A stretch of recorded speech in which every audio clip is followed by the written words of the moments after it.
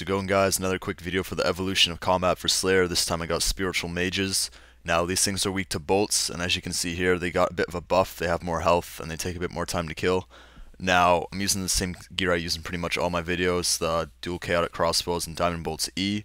And I got a Saradomin stole on just because normally I'd bring a Saradomin arrow and put that in my inventory in the old RS when you used to melee these things, but now that you can't, uh, is the only thing I could really come up with at the time that didn't really weaken my armor or Karil's gear.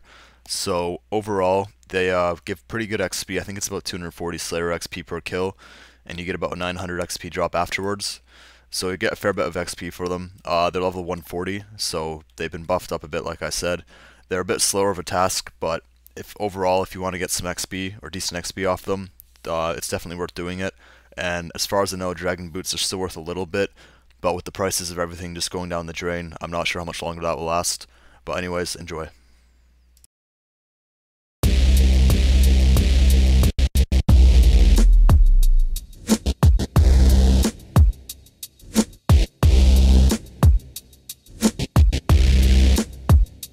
We'll